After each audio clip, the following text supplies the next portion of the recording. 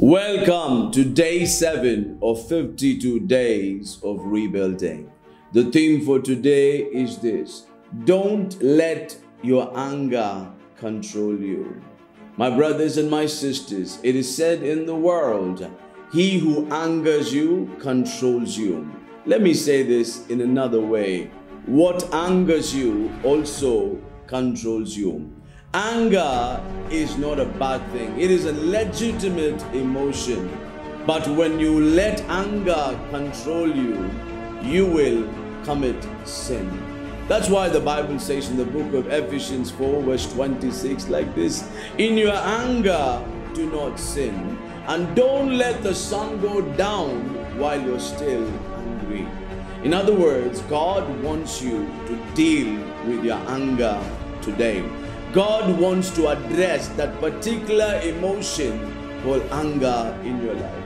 Maybe when you're looking back and trying to rebuild your life, you may have come to a point of life and say, you know what, because of that person, this thing went wrong. Because of that decision, everything came to a standstill. I don't know how to deal with it. Let me help you today.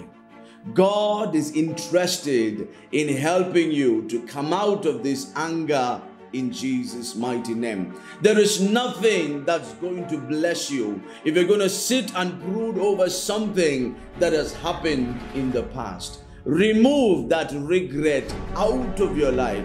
Move on forward, and God will help you to rebuild your life for His glory.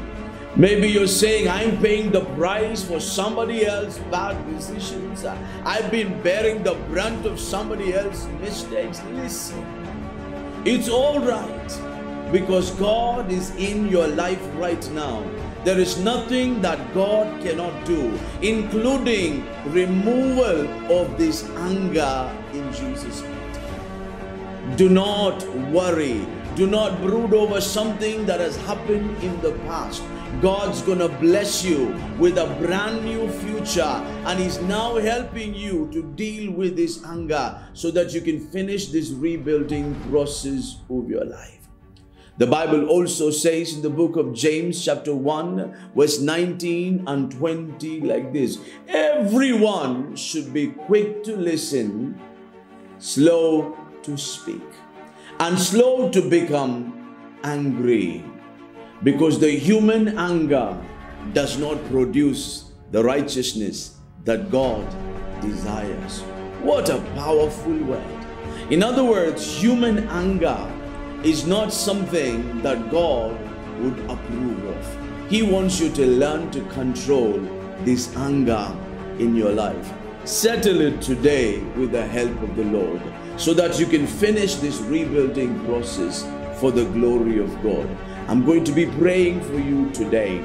Don't let the anger get the best of you. You take charge, you take control over that emotion, and you lead a peaceful life that God desires in your life. Thank you so much for tuning in. God bless you. Bye bye.